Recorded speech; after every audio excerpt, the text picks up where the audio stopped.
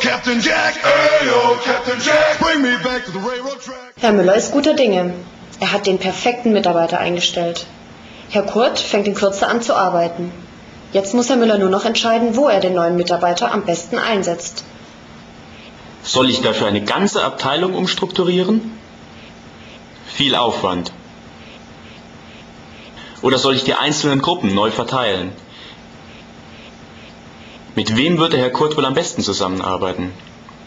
Etwa mit Frau Schulze? Oh, der Personaleinsatz. Der war doch auch irgendwie geregelt. Da gab es doch ein paar Modelle zur optimalen Bestimmung der Einsatzkonfiguration.